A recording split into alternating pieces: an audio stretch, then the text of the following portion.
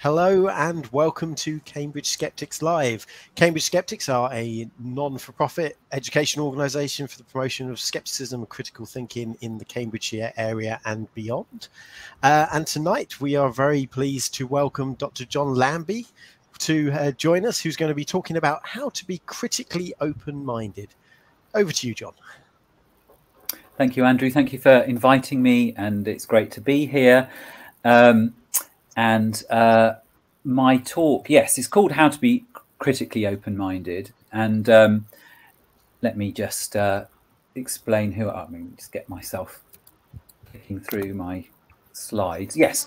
So, yes, my name's uh, John Lambie. I'm prof Associate Professor of Psychology at Anglia Ruskin University. Really, my area of research is sort of emotion, really, and emotion regulation, I do a bit of CBT therapy and that sort of thing. But actually, my background, when I did my PhD, I originally started off as history and philosophy of science. So I've always had an interest in uh, the philosophy of science, and I suppose that's why I got into this area of, uh, you know, open-mindedness and thinking. And I did write a book on it, 2014, but I don't really think I kind of solved anything with that book. And I had lots and lots of ideas um, and I think things have sort of, in a way, got worse in the sense that, what I thought was a problem that people were not critically. Oh, someone's got the book. Chris has got. The, that's amazing. Um, I didn't think it's anyone. from AR University. it's from the university library. I, I oh, it's from the university library. Good, good. That's how I, I approve of that because it's too expensive. Um, the uh, you know when I when I wrote it, I thought there was a problem with people not being crit- critically open-minded enough. And i didn't just mean kind of politicians i actually meant scientists as well. I meant sort of my colleagues you know. Um, but also of course the world of politicians and people on the internet etc but i kind of think it's got worse but i don't know whether i've got the answer to it or indeed whether there needs to be an answer to it. You know maybe i'm wrong and actually it's fine that people are not critically open-minded. I mean, I'll I'll define what I mean by it. Um, I'm really interested but, to know whether it's directional. The wrongness is directional. Like, are they not critical or are they not open-minded? Yes, no, that's right. But I do distinguish that. So I do have kind of there's two ways of going wrong. Yeah, you could be not open-minded or you could be not critical. That's a great point. Yeah. So so you you you could um, fail to sort of switch theories which would be lack of open-mindedness but then you could fail to switch for kind of rational reasons like if you just switch randomly you're yeah. kind of not critical enough so it's it is a combination of you're open to switching theory but you you you do it in a sort of rational way is the sort of idea so that's yeah that's there's, a great, there's a sweet spot that we should be the sweet spot and that's why it feels almost like a sort of not exactly contradiction but quite hard to find that spot where you mm. you kind of switch for rational reasons um, but I'll, I'll, I'll talk about that. I have I have a sort of slide on that, um, and um, just to give a kind of definition to start with, it's just this idea that you're willing to. It's what I've just said. Really, you're willing to shift your point of view or your theory on the basis of reason and evidence and in order to seek the best ex explanation. I know there's kind of three things there and we can unpack them a bit. But just to sort of say that there's this idea that you shift your point of view and you do it in order to try to get a better point of view um, is kind of the idea that that you're not just randomly doing it. Um, and I, will unpack that a bit more. Um, and just to kind of say, you know, this this idea is familiar in in philosophy, although I'm not a, a, philosopher, you know, and I'm sure you could find it in so Socrates and that sort of thing. But in recent philosophers, you know, John Stuart Mill, it's the idea that rationality, in a way, is about corrigibility, it's about correcting your mistakes. You know, someone is rational if they're capable of rectifying their mistakes by. Dis- I, I do like the use of the term discussion and experience. Um, and it might be that actually that's all you need because later on I start talking about things like Bay. I'll say a little bit about sort of Bayes Bayes theorem and stuff like oh, that. Oh, excellent! But but say I'm going to talk about it, I'm going to mention it and hope that other people know more about it than me. But maybe you don't need to even go that technical. Maybe you can just say discussion and experience. And then the other one that I've it's, got. It's, it's, interesting that your background is in uh, history and philosophy because I learned a lot Yes. more about history than I expected to from reading this book. It's very much yes, a historical perspective on the subject. yes. I think the his, history is how I got into it, actually, which I'll come on to. The thing Yeah. that got me into this was actually reading some history. Um, Yeah, and it's not at all technical. I was it was very easy reading. I thought. Oh, good. Oh, thank. That's nice to hear. Um, yeah. Um, so I'll come on to that in a moment, Chris. It's great because I'm about to do a, a very quick uh, Erasmus and Luther bit of history because I love this example. But the Karl Pop, I do love this this as well. Uh, this quote: "I may be wrong, you may be right. By an effort, we may get nearer to the truth." Which Karl Popper sort of was talking about. Uh, again, it's very much like the John Stuart Mill, but it's a sort of it's sort of a criterion of rationality that's saying that um, you're willing to sort of change your mind, but also it's saying we may get nearer to the truth. So it's not just saying I'm willing to say that I'm wrong, but I'm saying I also like the use of the word we. We Hmm. may get nearer to the truth. So it's kind of like I'll learn from your. You've got a different point of view. One of us might be wrong, and it could be me. Uh, but together we'll try to get nearer, nearer, nearer to the truth. So I think that captures the attitude. Um, and then And here's that, where I'll do. quote is, is the exact quick- opposite of anything that anyone has ever said on Twitter. Like yes, it Yes. looks like it could be a tweet just from the, the the punchiness and pithiness of it, but actually, in terms of content, no one has ever adopted such a generous posture. Fa- isn't that amazing? Yeah. Yeah. isn't that amazing? That I mean, Twitter just doesn't allow that to happen, and and so that would be very interesting to you know use that as an example of maybe just the you know almost a paradigm of sort of how to foster closed-minded th- thinking. You know. Um, so yes, my two examples I just want to give fa- fairly fairly quickly to just give one. One's a kind of um, I suppose the- theological scholarly one, and one's a kind of science science one. But I do like this example because this got me into this topic where I, I was always interested in the Pro- Protestant Reformation, did it at O level, and I always kind of thought, oh yeah, Martin Luther's a bit of a kind of rebel, isn't he? He's a bit of a kind of free thinking um, hero of kind of critical thinking. And then I started reading some of the stuff that Martin Luther had written, and I thought, oh my god, he's not that at all. He's like a kind of really uh, aggressive, sort of dogmatic person. Um, and what, what what what one of the one of the things where this comes across is that you've got Erasmus and Luther writing the same sort of time, and they had a debate about free will. Luther was against free will, Erasmus was pro free will. But the, the, the thing that's interesting is just the tone of how they write about it. So I don't really care for this talk about who's right about free will or not. I'm sure you can have another skeptics debate about that that will never end. But but this is just the attitude. So Luther says, and there's loads of these. Your book is so contemptible and worthless. Although you write wrongly, I owe you no small thanks because you've confirmed my view. No, And that is totally a tweet right there. That That's that you put on Twitter today. Totally a tweet. And what you get hmm. with Erasmus is constant because they'd have a back and forth. And it, took them a bit longer than tweets. They had to write these little books to each other. Erasmus, you know, even if I've understood what Luther discusses, it's altogether possible I'm mistaken. I merely want to inquire, not to dogmatize. I'm ready to learn from anyone who advances something hmm. more accurate and or more reliable. So I've highlighted your kind of you write wrongly, you've confirmed my view. It's possible I'm mistaken. I want to inquire. I'm ready to learn. And then he's got the accuracy criterion.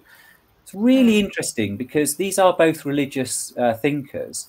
And I don't think it's true that religion is necessarily closed minded, although there are some examples where religion goes down that route. But um, certainly Martin Luther is absolutely full of it. Uh, here's another one. Uh, I ought not to allow you to err in this matter. One must delight in assertions. Let me define an assertion. I mean a constant adhering to and affirming of your position, avowing it, defending it. And he's kind of saying this is. I mean, he's an he's an intellectual, Mars, but he's sort of saying the thing you should do as an intellectual is to just affirm your thing. Uh, and I thought you'd like this because you're the Skeptic. Society. So great is my dislike of assertions that I prefer the views of the skeptics. Um, Hmm. It's just really to because I thought I'd use an example that's not not from from Twitter, but to see that this this has been going on quite a long time. This kind of different different style of thinking your kind of dogmatic thinking and your open thinking. And actually i think perhaps it has got worse. And it's really hard to find examples. It's interesting your point erica that to find examples of people doing critically open thinking is quite hard you don't see it on a tv debates or uh, on twitter you know so actually um, I don't know. You know, you, it, it is interesting. The other one I want to just give a quick one because of the the um, the shifting of theory. So I did want to give a science example. Sometimes I use Galileo, but just just to, to do this one, John Tuzo Wilson's a bit less well known, but he it's the field of geology and um, he what's nice about it there's a series of papers um, and if where he changes his mind about what's the explanation of there's various things about earth geology about mountain ranges and islands and things like that and he says there's four theories. He has four theories. One of them's contracting earth expanding earth can't remember the third one and the fourth one is continental drift which he thinks is the most stupid one he's, he's got the least evidence and then gradually the papers he starts to go, no, actually, I think the continental drift one, which is where the continents all were together and then they drifted and they smashed into each other. He goes, no, that's the one that's got the best evidence. So he gradually changes. So it's a really nice idea. And I think that you don't see that enough in science. In fact, I never see it in my colleagues. It's very rare to see papers, certainly in psychology, which is a thing I know about, in which people go theory A, theory B, which one is better. They, they nearly always people kind of go, they've always got an agenda and they're always trying to support a hypothesis usually. So it's and that's how, my that's how here's my structure, right here's why it's right. Yeah. Everything else. Here's why it's right. Seek. There's all sorts of sharp practice. There's there's, there's kind of like uh, analyze as much data as possible and then fish for the ones that support the what I want to say. There's a lot of that going on. There's no kind of but and I think the simple thing of just if you just did kind of go right, I'm going to put three theories up, and then I'm going to see how the data differently supports. There's a few you can find a few really old papers that do this in psychology, but it's very rare to see that now. Um, it's also it, our whole our whole way of thinking is set up in a more adversarial way, um, yeah. like our legal system um, yes. is is set up in, in this adversarial way. It's, it's you know you're you're intended to portray a single perspective and then the truth will emerge by yes. some other person that's right who decides not which is the compromise that is correct but which of the two no. sides is correct but i guess at least in that when you're in the courtroom you get both of them you do get both True. of the points of view whereas i think sometimes you get sometimes you might get sort of papers which don't really tell you the other side you know as much at but, least but on an individual level we are trained to represent a single perspective and we have yeah. been for 800 years. Yeah. And in fact, there are scientists that advocate it. Another thing I sometimes do is Karl Popper versus Thomas Kuhn, because sometimes people think Thomas Kuhn is like, oh, yeah, he's the kind of relativist one. But he's not. Thomas Kuhn is the one that says scientists should be dogmatic. And mm. that and that um, when he first came to talk in London, people were outraged by him going, Oh, yes, normal science. He says normal science is you train PhD students to not challenge anything. And the only way you get progress is that a new lot of people come along and oust the other people, which actually people like Karl Popper and uh, some other people were sort of outraged by this. He was saying, No, you know, you shouldn't be dogmatic. Everyone should be critical. But Anyway, that's a, that's another thing. That's another example of this actually, because there is a school of thought that says scientists should actually be dogmatic and then you just through through sort of i don't know survival of the fittest or something um, you, you you you you you kind of get a change of theory anyway um, that, sorry sorry just before we move yes. on from that doesn't that doesn't wouldn't that slow the progress of science aren't, aren't scientists supposed to be i suppose be dogmatic until the evidence doesn't support anymore and then they formulate or ascribe to a new theory and test that. Like if, yes. you, if you had to be dogmatically uh, committed to whatever it was that you were, uh, whatever theory it was you picked up when you first started sciencing, wouldn't that yeah. would that lengthen the process of science by forcing it to take generations rather than exactly sort of And isn't that arguably why like the 1920s experienced such like rapid advances in like our understanding of physics and chemistry because everyone had died in the First World War? That's one theory that I've heard. It's one thing, yeah. but it's interesting because sometimes people say that, and the, and there's sort of irony because they attribute it. I think they might attribute it to Max Planck, where he says something like, you know, it's just the new theories happen because the people die, you know. Mm. But the irony is that he's a living example that refutes it because Max Planck actually constantly changed his mind. So he kind of like he actually uh-huh.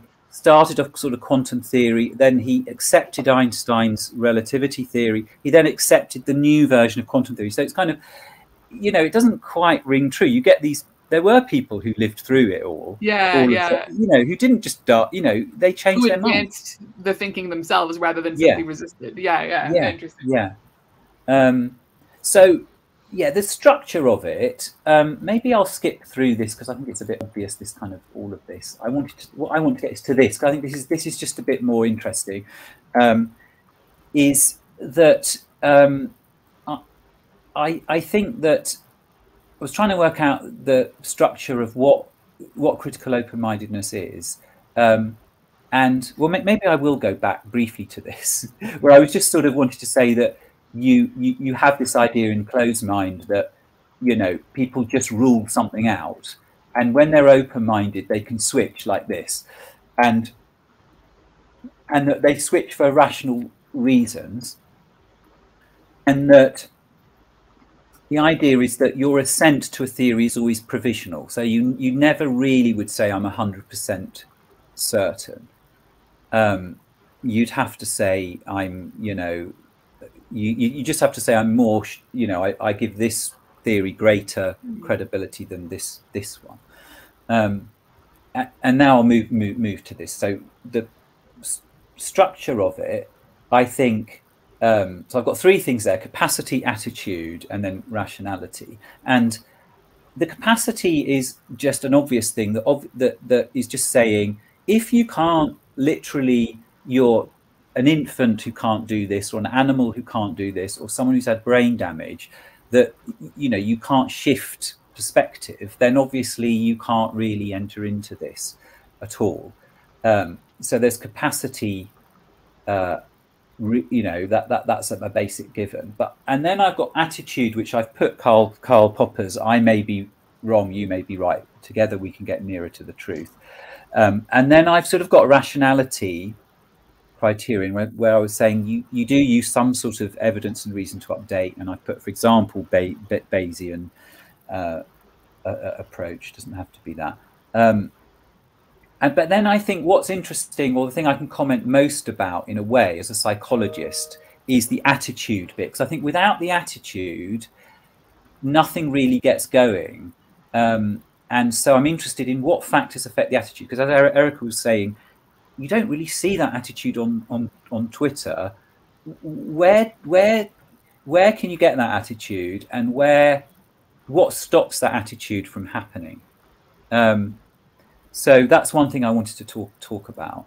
Um, and here's where, again, it was Erica's point about two versions of it going wrong. So the dogmatism would be things like, I know I'm right, I need to show you that you are wrong. So that's obviously not the attitude of, I may be wrong, you may be right. I need to win. So any of those, I need to win, I need to show you're wrong, is, is and that's what you got with the Martin Luther, for example. You could then just have something that rejects any kind of rationality. Um, and what's interesting about this is I know you're called the Skeptic Society. Obviously, there are skeptics when you go back to, I mean, you know, Greek skeptic. I mean, you'll get people that are skeptical of everything. Like if you're skeptical of rationality, you might get people that are sort of like they're so skeptical that they say it's all just everything is it's a bit like David Hume, you know, everything's just emotion. You know, it's like well, he's so. That's a problem that we face in with like our use of this term is it's it's not an ideal term because it can lead to misinterpretations like that. But it's the one that this movement has has coalesced around. It's the least bad option. Yes. But what we what we are not saying is, you know, somebody who is a climate change denier, who is using say dogmatism to do reasoning around climate climate change. Yeah. They might use the word skeptic to say that they are climate they are skeptical about climate change, but yeah, in fact yeah. they are they are denialists. Exactly, yeah. And I think they're not I think one way around it, I was thinking about this, is that you almost need to be a sort of second order skeptic. It's like it's not enough to just be a skeptic where you just you just sort of deny things. You have to kind of be skeptical about the skepticism. You have to go, no, I'm a. If you're a sort of proper skeptic, you, you would sort of go, well, you know, uh, it's not just that you're, you know, it's not enough to be skeptical of climate change. You have to be skeptical of being skeptical of climate change. Do you see what I mean? It's like it's not. We're, we're having a chat that, that sort of relates to this this morning. Is to like we were talking about the kind of the topic of are there things that you shouldn't study? Uh, it's kind of tangential mm. something else we we're talking about, but yeah, um, within within that there there is that sort of second order of like, well, actually,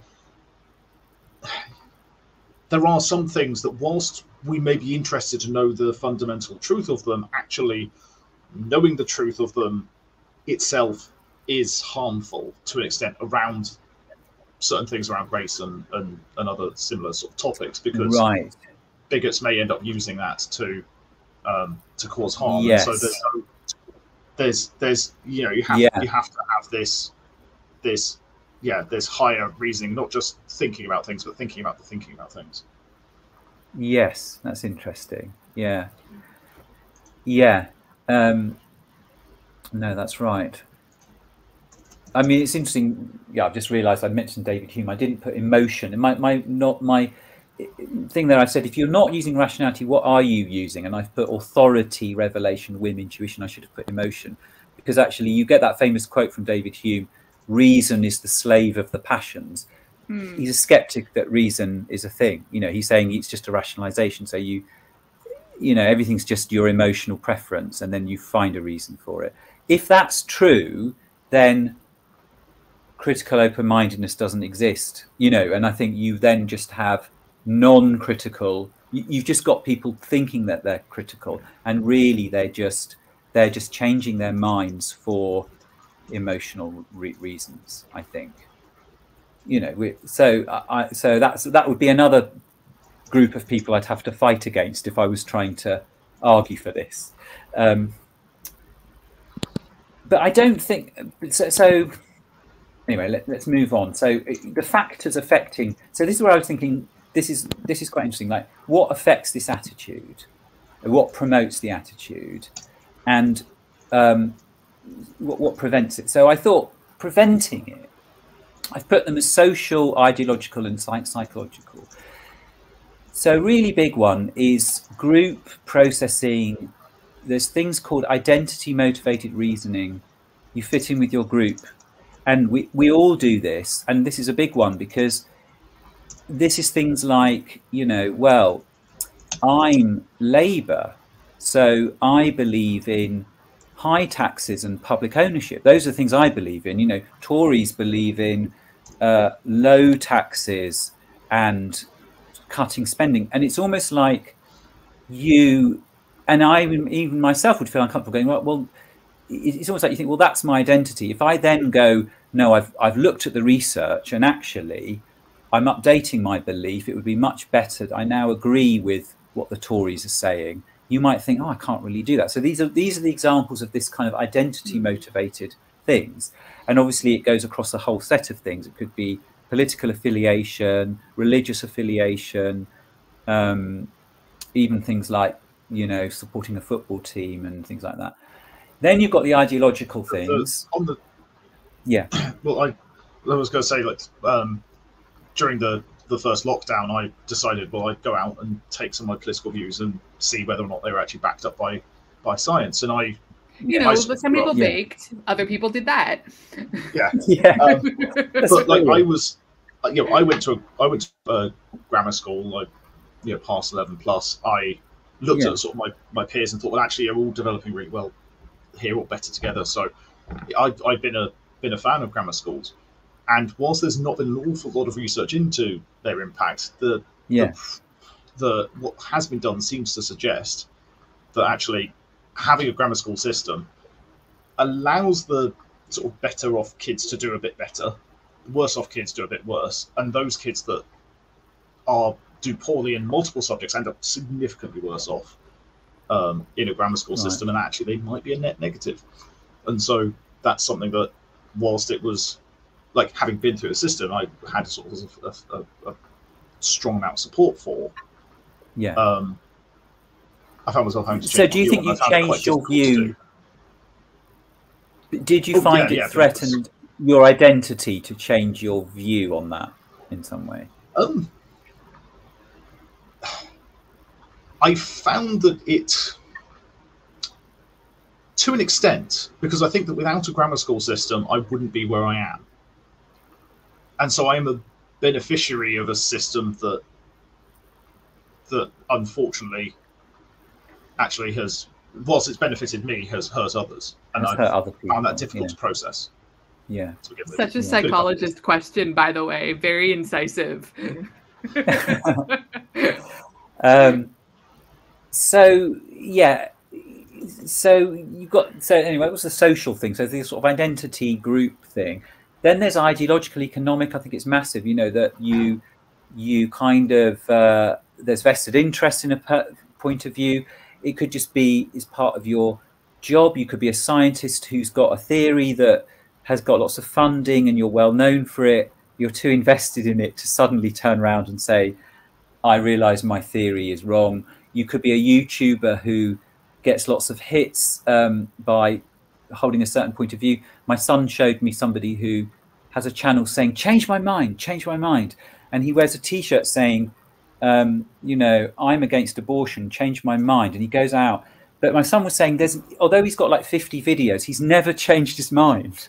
So it feels like um, that would be great if it, it sounds like it's not um, he's not getting the followers by actually changing his mind. So sort of, mm. you know, it feels like there's a kind of, you know, his his uh, his shtick is to not change his mind. Um, yeah. Uh, we um, John, sorry, just cutting. Yeah. Sorry if I might cut in just for a sec. Got a question in the chat which I think is kind of relevant to what you're talking about. Yeah. On the yeah. topic of cognitive dissonance, which is, which oh, is kind yes. of that, you know, um, one of the reasons why people might not be changing their mind is because the idea causes them discomfort. Yes. So they they might assume, well, absolutely, I, am definitely right, or there's these other reasons that explain why I'm I don't need to change my mind in face of the evidence and stuff. So, yes, well, actually, that's interesting because the cognitive dissonance. I suppose I've I've put psychological. I ward off anxiety by hold, holding this view, and obviously, cognitive dissonance is sort of anxiety generated by clashing beliefs, isn't it? Rather than yeah. Uh, so, yeah. I mean, cognitive dissonance. I think it is interesting because I think it can go either way because it could be something that generates you to. I, I think tr- traditionally the idea is that you sort of you ward it off by. I mean, I had this. One I've still got it myself over sort of veganism and stuff. Like, I believe that I should be a vegan um, and I'm not fully a vegan yet, but I, but there's two ways you could go. You could sort of go, um, well, I'm going to sort of argue, I'm going to rationalise that actually, you know, dairy dairy farming is fine. You could do, you could reduce the cognitive dissonance by saying, I'm going to actually um, tell myself that dairy farming is fine, or I'm going to sort of not think about it. Or you could live with the dissonance and then gradually, eventually change your mind. In fact, that has happened to me with with other things. But but yeah, I mean, it's I think it cognitive dissonance is something that I think can go either either way. Um, but often people want to keep their beliefs consistent, and so they, in keeping their beliefs consistent, they might become more closed-minded because you might think, well, I've got to like not open myself to that because that will contradict what I already believe. Yes, that is a good point. I, I, got the impression from the book that you thought cognitive dissonance was a positive or even an essential thing if we're going to be able to hold two different ideas in our mind. Yeah, yeah that's time. right. No, I think you, but I think that's maybe not cognitive dissonance. I, I, don't know. Maybe it depends what's meant by cognitive dissonance. I think it's sort of. I think I talk about containing the yeah. ability to contain multiple views. But I think in cognitive dissonance, you kind of get you get stressed by it. So you actually you actually try to change one of the views. I think in the classical meaning of it. So rather than cognitive dissonance being necessary, it's more like cognitive containment, you could call it something like that. So the ability to contain. Uh, there is that thing Keats calls negative capability, which I think is is uh, I think it means the ability to hold opposing beliefs without getting without it's, it's almost it is the the anti-cognitive dissonance it's sort of like you you contain them without trying to change one of them i may have got that slightly wrong but um so the other thing on the psychological actually i'll i'll, I'll move on to this because because again this is something i know a bit more about i just want to say a little bit about psychological factors that are to do with interpersonal emotion reg regulation. So um, I think that a lot of um, the, the, the thing about being open minded, the way I've defined it, is you have to actually be, you basically have to have this I'm okay, you're okay attitude, which you could call interpersonal equality or something like that if you kind of don't have that, then the whole I may be wrong, you may be right, together we can get nearer to the truth never really gets off the ground. And I think, but one of the problems is this I'm okay, you're okay attitude. And it's very familiar for anyone who's sort of been a therapist or has looked into this, is that actually it's quite it's quite common to not have that for various reasons. Um, and uh, it might be that people think they're not okay and other people are superior to them, or that they think they're superior to other other people. Um, and in fact, um, you might get this called splitting. You don't really need you don't really need to call it that. You can just call it um, the fact that good and bad are massive, massive categories in our language and probably in our evolution as well because of pain and pleasure they're the biggest sort of connotation. If you if you ask people for connotations of words, you know, the biggest variance is people can say things are good or bad. If you then start applying this to people, if you kind of if you um, are brought up in a way that you're led to believe that these things should be separated. There's good people, there's bad people, there's there's worthless people, there's great people. You're either up, you're either down. You're either a winner or a loser if you've at all got that attitude, I think you're going to really struggle with critical open mindedness. Hmm. And this is where I think Twitter might come in that often arguments activate, you don't have to have a personality disorder. We all can do this. We could all get activated into this. People with personality disorders might be slightly more extreme. Um, what about um, like personality characteristics? Like, I don't know um, we, have talked uh, on this group before about like the the big five personality traits and, and other things like right. that. I don't know where yeah. that sits in relation to some of this. I really don't know. There is one called open-mindedness. Well, that, that's what I was, thinking, I was thinking about. I was it's actually not. Yeah, openness, isn't it? Openness to experience, and it's actually, it's not. It probably that probably does relate to this a bit, but um, I don't really know. I haven't really looked at it in terms of it's not really my thing, personality, mm. you know, the big five and all of that. Um, but I suppose openness to experience would would would be the one. Um, I mean, what I've got here is I've brought up narcissism. You know, believing you're better than others, trying to put others down, and again, you've got this kind of, you know, I'm I'm sure I, you know it's pretty obvious that narcissists are actually not people who think they're better than other people. They're people that worry that they're not better than other people. So they constantly have to put other people down uh, in order to enact a sort of emotion rate regulation. Uh, because um, they don't want to be down. You know, if you if you genuinely thought you were better than other people, I think you'd shut up about it. I mean, there's no need to kind of where, where's the anxiety in that? The anxiety is I don't really think I am. I don't want to be down. I don't want to be down. So I've got to po- constantly put other people down. And, and if you've ever in the presence of somebody with extreme versions of this, it's it's almost comedic um, how often somebody will tell you how kind of great they are relative to how rubbish you, you are in extreme ver- versions. But so these kind of things. I mean, you know, you can see these sorts of things. I've put I mentioned Martin Luther there. There's there's quite good biographies of Martin Luther that kind of does fit this. Adolf Hitler, Donald Trump, but we've all got a bit of this. There's certain attachment types, I think, that lend themselves to this. Avoidant attachment people tend to think they're strong and weak people, and that they're strong. And um, I hesitate to say because I don't want to be political, but in and I'm not saying, but in the current Tory party, because they got rid of a lot of nice people, I feel they're left with a lot of people who kind of have got this interpersonal style. You know, I'm not saying all Tories, but they got this sort of the sort of apprentice um, contestant, you know, who's like contemptuous of weakness, you know, and it's a strange thing. And lazy people, weak people, it, obviously racism's like that. Let's put all the negative characteristics onto this racial group. You know, it's get it off me, get it off me. Um, and you, you, you see it. it you know, Donald Donald Trump enacts it all the time. All his racism is very kind of putting all kind of very negative characteristics on on other on, on other groups.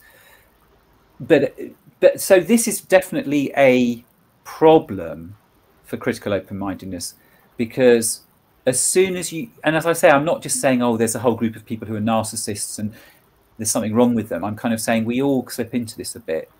We we get activated. You know, somebody I'm arguing with somebody and suddenly I feel a bit put down and I think I want I'm, i want to win this and I get all anxious. You know, we we we can all get into this, and that's where I think the, the whole the Twitter things just go down a rabbit hole, don't they? Because people get angry and insulted, and before you know it, you've got people kind of trying to win.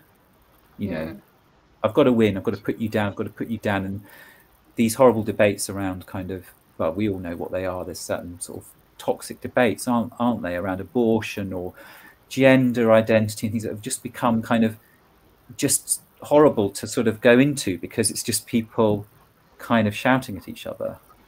Um, so anyway, that's a bit of.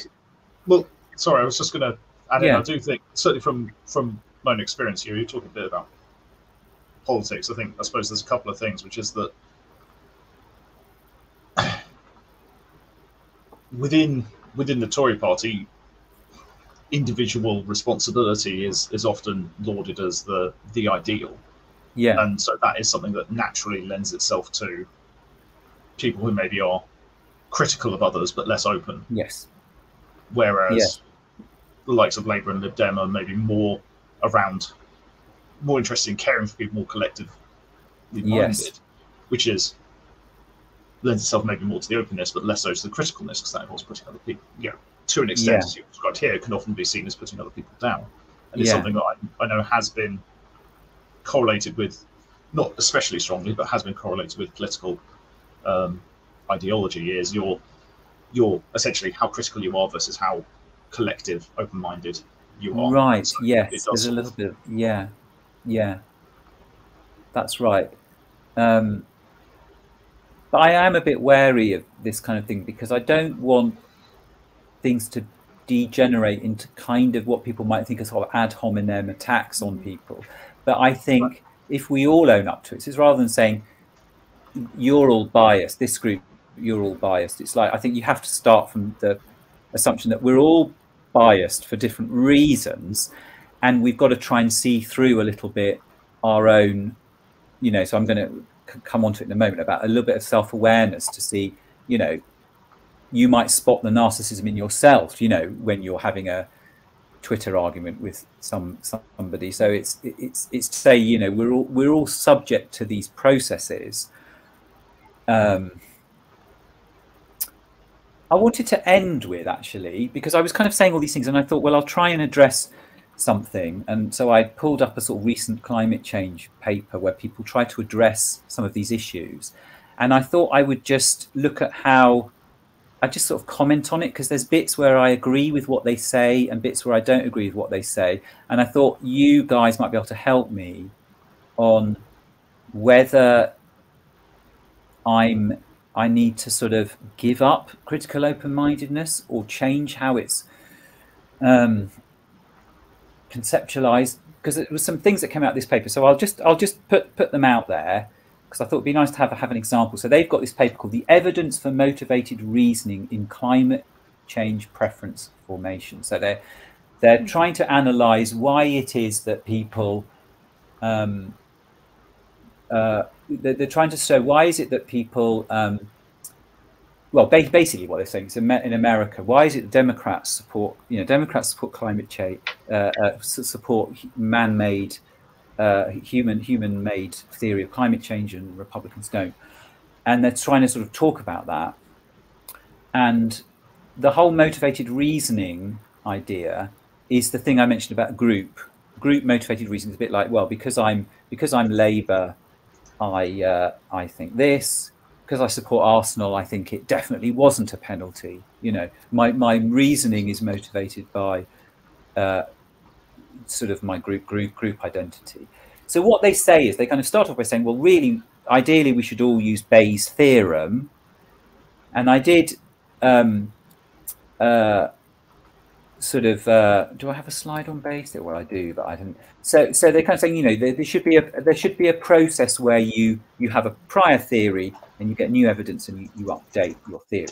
But then they say, well, people um, don't do that because they might um, be motivated uh, to not change their theory. But they also say they might just give low credibility to certain evidence. So what they say is they might still be following Bayesian principles, and obviously people don't literally. Very few people get their calculator out and and calculate their probability of belief using Bayes' theorem, but they follow it. They sort of do it informally, um, but they were sort of trying to say that some people do. They do kind of. They are interested in accuracy. It's just that they give a low credibility to evidence, so they'll just go, "Well, I read it." you know, they'll say things like, well, I know the scientists say that, but I don't believe in science. They'll say things like that, or mm. they'll just say, I think those scientists are just um, they're all part of the the great hoax or something. So, in a way, they're just saying I give that low credit credibility. Um, so there's this problem that people might, um, you know, not be updating. You know, they're not updating their theory according to evidence, not because they're kind of um, stupid people who don't understand the logic of Bayes' theorem, but they've just decided that the evidence is bad. So that that's one thing that they talk about. I haven't put any slides up showing Bayes' theorem. I, I did have some of those, but I thought it, I don't want to get bogged down in that. But and I'm sure some of you probably know more about it than me. But just the, the idea that there's a kind of rational process to kind of update your prior theory based on the new the new ev evidence. So anyway, they talk about this that you know Democrats and liberals believe human activities are primary cause of climate change. Republicans, conservatives don't. They vary in what they consider to be cre credible evidence.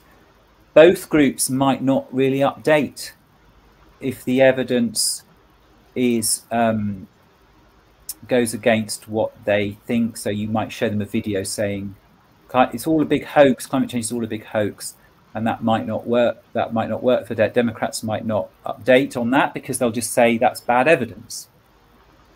So obviously, you've got this this kind of issue where it's quite hard to kind of grasp. It feels quite slippery, really. Like if we're saying, "Oh, we should all be rational and update our theories," but there's so many ways that you could, in a way, I think what they're saying is people could kind of say they're still being rational. It's just that, you know, if the theory, if the evidence is weak credibility, then I shouldn't update.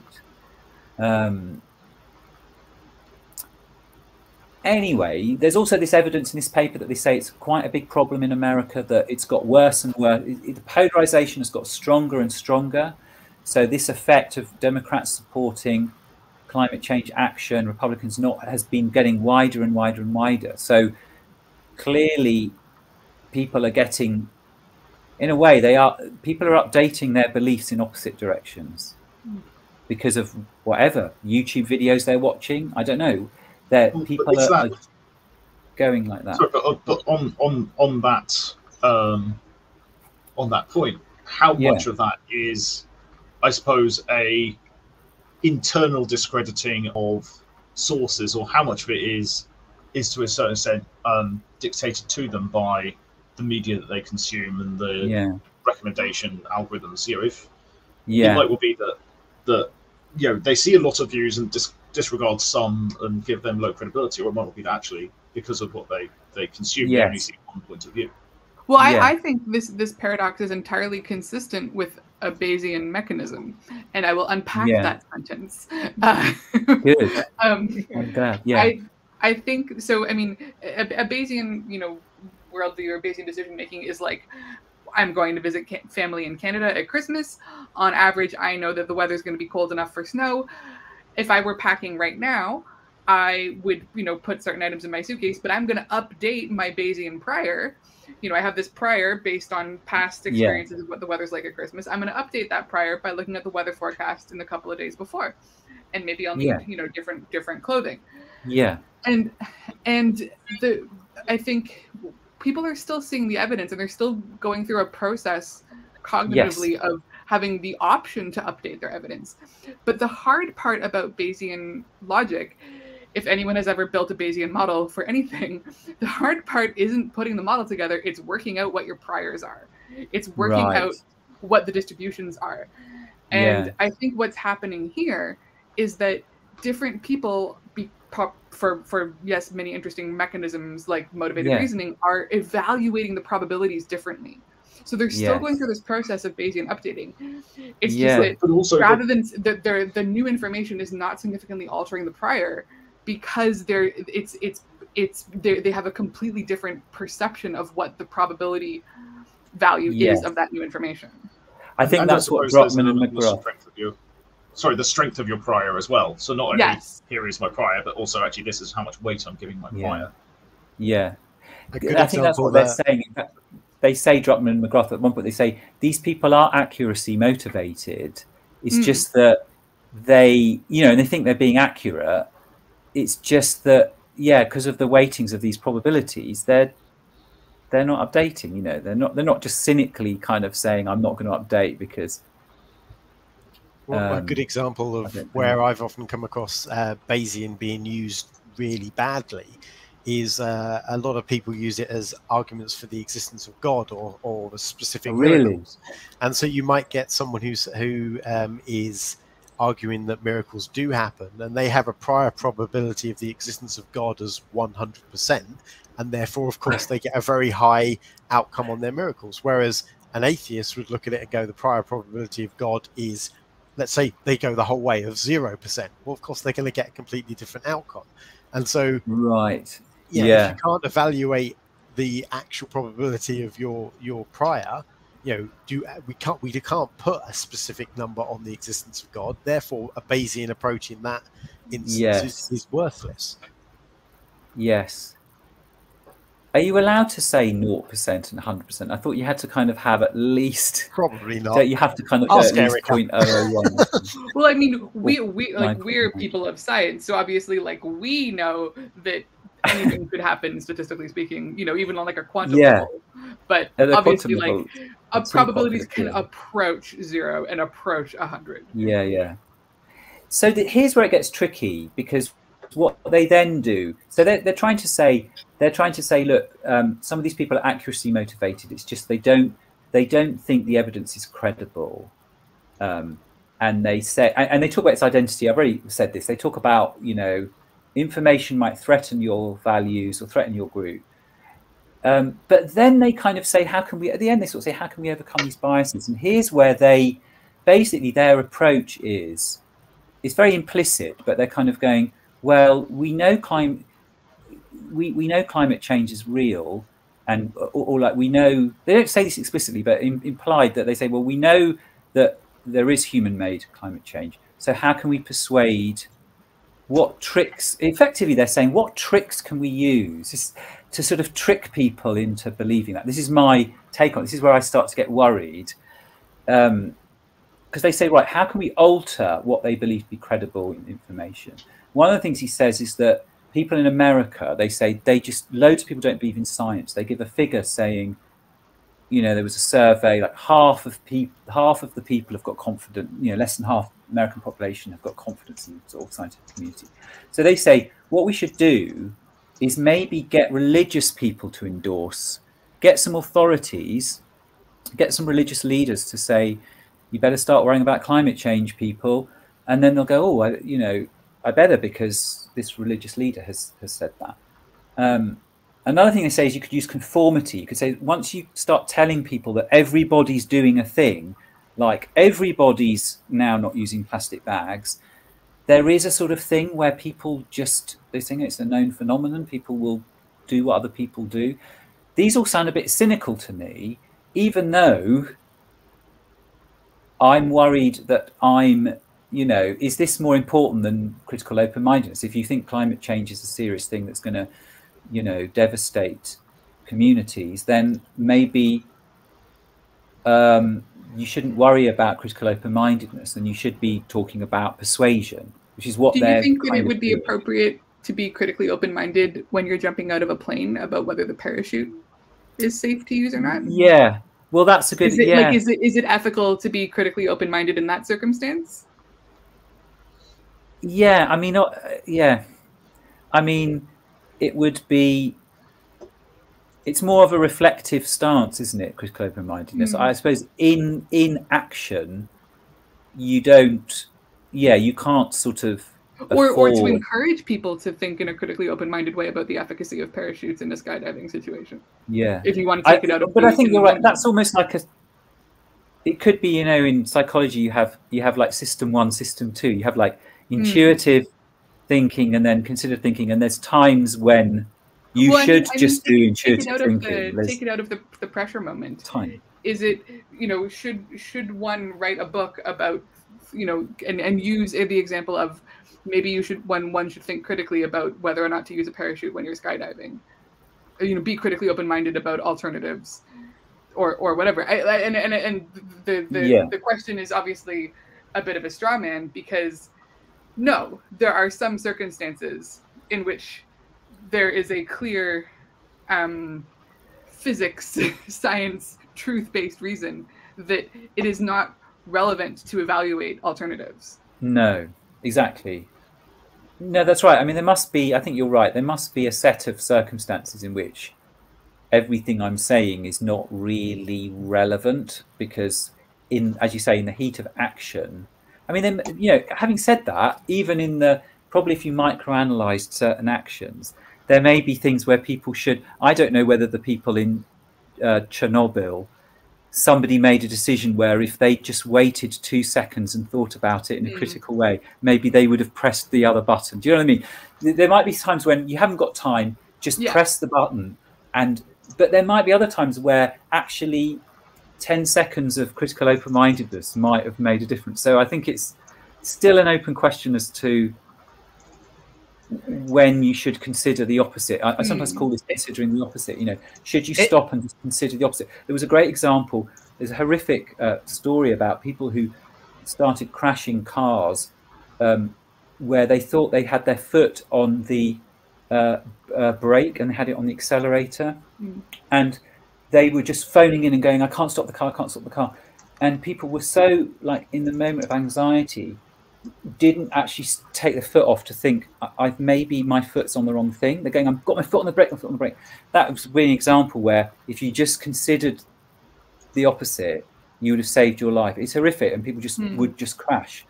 Um, and I can identify that because I remember once when um, some people were breaking into my house, and I heard them banging on the door. I went to phone the police, and I literally could not remember the number nine nine nine I kept I kept dialing 900. I was going, why is 900 not working? Hmm. And it was just I couldn't. I persevered on 900 under stress. I was like, and I thought that's the number I've known all my life. It wasn't. Anyway, um, but interesting how under stress you you might find it almost impossible to switch. You know, you might get so narrowed in, in your book, you talk about how critical open mindedness basically averted the Cuban Missile Crisis. yes. That's based on, um, yeah, a series of, I forget what they did. It's people who, they call it? Um, they analysed. Um, there's a method of analysing uh, decision making, isn't there? There's a sort of qualitative technique, and I forget what they call it, but they they don't call it critical open mindedness, but they they they use these methods to see how open people were at different crises, and they give it a little score for kind of Nixon and John F. Kennedy and various crises, and you know, I, I don't know how valid their technique was, but but it was interesting to think that they would score people on how open-minded they were, and then how how successful they were at averting a war. That was basically it, wasn't it? Yeah. Um, so yes, I think my I'm nearly at the end now because it, this was really my. So they also talk about reframing in these techniques. Another thing it says reframing, which is quite interesting. And I was wondering because I'm wondering whether these things are closed-minded. Maybe they're not. Reframing might be okay because this is something I mentioned cognitive therapy. This is something you might do in cognitive therapy, but this feels a bit more cheaty to me. This feels a bit more. So they're saying that you reframe a thing. So again, they're doing this climate change thing. So in this context, they're trying to change the minds of conservatives, and they're saying, um, here's a thing where you reframe one study instead of saying it's about care for the environment. You say it's about protecting your homeland. So instead of saying climate change is going to threaten the earth, you go climate change is going to really bugger up America and it's going to, our homeland is going to be destroyed. They said then conservatives were would be more in favor of climate change action. So you're going, right, let's activate a different moral frame. Um, and the other one, they were saying, um, if you, this is a very American context again, if you say that let's use the free market to alleviate climate change.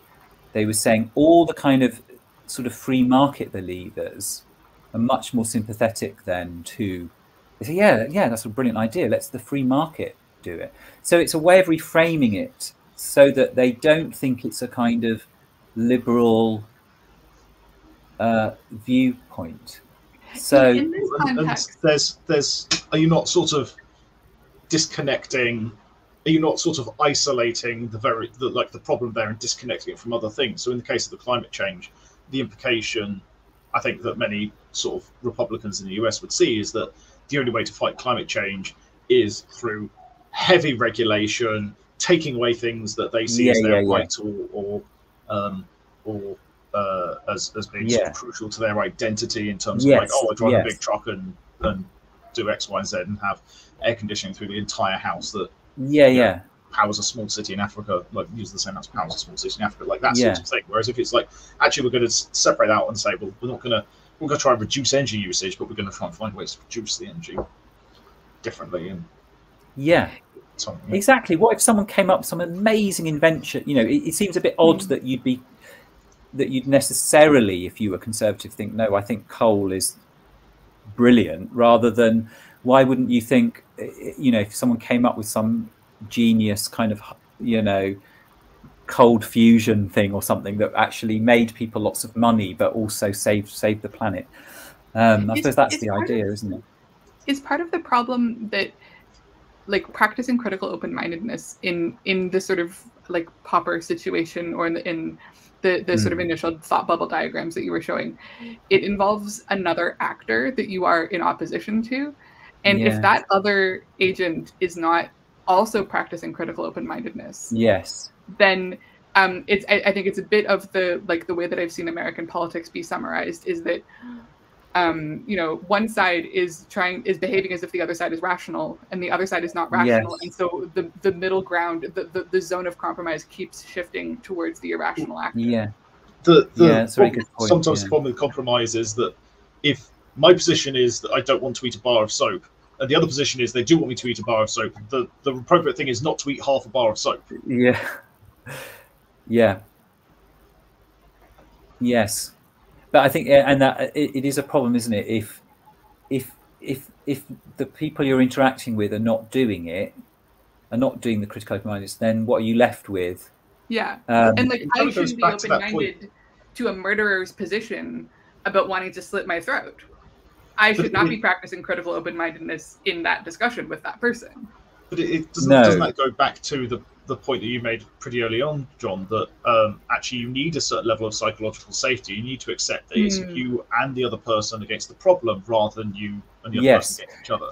Exactly, which is why I was saying that you, what you really need is institutions that kind of promote uh, sort of I'm okay, you're okay, which obviously lots of our institutions do, you know, like school classrooms and things, you know, on the whole, teachers are doing that. They're not, they're, they're, you know, there's interpersonal equality. You, you tend to have people saying, you know, everyone's, you know, allowed to put up their hand and have a point of view.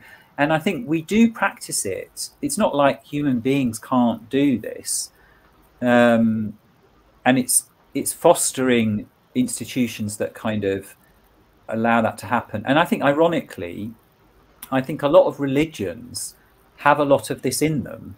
Um, they have a lot of kind of you know, love love your enemy, uh, love your neighbor. You know, we're all we're all kind of um, we're all the same in God's eyes or whatever. You know, there's a lot of kind of universalism in religion. Not, not to and, mention sort of acceptance of contradictory ideas. Yeah. In a single in a, within a single worldview, like there's a, exactly. there's a lot of within a religion that is that is self like self hypocritical, but yeah. but people who are indoctrinated are, are taught to accept that. Yeah, and I think it's almost like a contingent thing where it's people keep coming back to the sort of American example, the US example, where where it feels kind of like it's that's gone down a very particular place where religious people sort of went Republican, and I think that's fairly more like a 1970s thing. You know, there's a lot of contingent things that have happened, like all these identity things I think are fascinating. They're quite contingent, like abortion switch around a bit. It used to be in the 60s, Republicans were quite happy to be pro-abortion. A lot of Democrats were anti-abortion. A lot of the Catholic, you know, Kennedy was anti-abortion. Mm. Ronald Reagan was pro-abortion and you know, and, and things suddenly get fixed to an identity, and then suddenly like, but it feels a bit sometimes a bit random to me. There's no kind of that. That's where it gets weird, where some of these things just you could have had an alternative history in which some of the identity val, uh, values could be switched. You know, it's not Donald random. Trump there were, there were real conspiracies to to big oil got together and ensured that they mm. targeted Republicans with anti-climate change suspicions. Yeah, well, yeah, of course, evangelical yeah. movements that deliberately targeted Republicans with anti-abortion. Yeah, yeah, exactly. There, there could be kind of cynical actors, um, you know, but so I think where have I got to? So yeah, partly if I just fin- finish off that I was worried that this is all a bit cynical, this persuasion. But then I did wonder, should I, um, should we, you know, stop being critically open-minded over this in a way uh, because it's a climate emergency or you know but then have i then just given an example for closed-mindedness because then you could say closed-mindedness is the thing that you should do whenever you feel really, really strongly that something's an emergency. But then, you know, that's exactly what Martin Luther and people like that were doing, where they thought everyone's going to go to hell. This is an emergency. We've got to make sure that everyone follows my my view. So, uh, so that's where I'm a bit unstuck. But I, I, I suppose the difference is that we have better evidence for climate change than we do for hell. For hell, yeah. What was his evidence for that? Yeah. Yeah. Um, my final thing then, when I try to say my the things that I thought helped the attitude, I've already mentioned them. The interpersonal quality, I'm okay, you're okay. Institutions that promote that. Self-awareness, I've already said that, you know, awareness of own biases. Universalism, by which I just mean the idea that um, one of the one one of it is the idea that, you know, it's a bit like the I'm okay, you're okay, that, you know, we, we're trying to find um, views that um, everybody can assent to. And I think there is an idea that I'll just name check a couple of people on on this. Maybe philosophers will. So I've got Kant and Har- Habermas. Just there are some ideas that actually rationality and universality go go together. So so actually, there is a sense in which if we all kind of got together, if somehow you could make Twitter more democratic or things more kind of, you know, the public sphere more sort of genuinely a, a sort of conversation, then actually truth is more, people are more able to sort of assent to truth than they are to lies because, or to non-truths, because actually, you know, if, if someone's saying the moon is, is sort of white and other people saying the moon is red and white striped, it's kind of everyone in the world looking out at the moon, you're going to, you're just going to get more buy-in ultimately to, you're not going to get as much buy-in to the moon is red and white striped. You know, the, the truth sort of has a universal feature of it.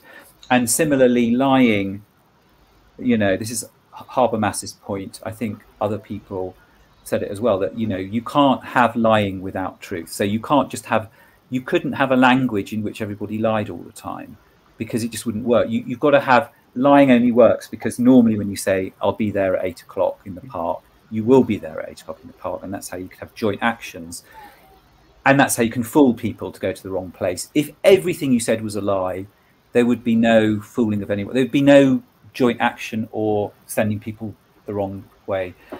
So there's a sense in which maybe language and discourse and public discourse does actually tend towards this is my optimistic thing it tends towards truth but you maybe have to create conditions in which you genuinely have kind of mutual respect and things things like that which i think you you could get from religion it's not i don't think this is a science versus religion debate really because i've already said that some religions foster that sort of attitude. Anyway, maybe I should stop there because I think. Um, I've got one question enough. from the, the chat to sort of yeah. round things out with. Um, yeah. I can science that, who's one of our regular viewers and has been a guest on the channel, um, wants to know: um, Are there any effective means to coax people into adopting this kind of uh, rational, open-minded thinking? Um, I think it's. I mean, I suppose I've already said. You know, I I, I think those um, those. I mean, it's almost like just thinking. I, I actually think that attitude. You can't really phrase it better than those two little catchphrases that I've said, which which you know the I might be wrong, you might be right. Together we can get near nearer the truth. And the sort of I'm okay, you're okay. It's especially I'm okay, you're okay, sounds very, very trite, but I actually think it's incredibly profound. It's very profound because um, it's actually um, a sort of assumption that there's sort of mutuality there and um, a, a, a, a, mutual respect. So I kind of think I can't do better really than just kind of saying, thinking of those two mottos, you know. I love that. I love that Popper people... quote. I was saying like that that yeah. Popper quote, the the like you know maybe we can get close to the truth together. I am going to take that into work. You know that's that's yeah. such a fabulous way to uh, like to sort of set the scene for for problem solving.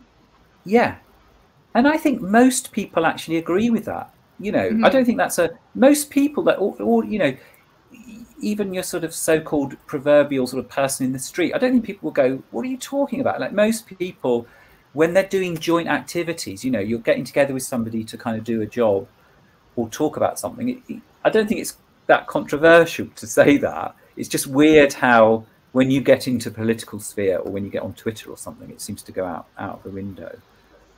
Um, cool.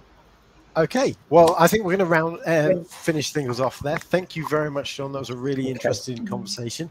Uh, I, I, I agree with Erica. I think those those two simple little phrases are things we should all uh, definitely keep in mind. Um, so uh, next time uh, we have a returning guest, which is very exciting. Uh, Tom Kerss is coming back uh, to talk to us, and he's going to be discussing the incredible uh, James Webb Space Telescope images, which I'm sure most wow. of you have seen. Um, I'm really looking forward. I have lots of questions. um, so yeah, that's a if you if you have questions about that topic, definitely join us in two weeks' time, and we're gonna we're gonna pepper the poor guy with them. Um, but otherwise, thank you again, John, and thank you all the people who came along and joined us in the chat. Very engaged chat this evening. Lots of people there. It was really nice to see. Um, and we'll see you in a couple of weeks' time. So we'll see you then. Bye.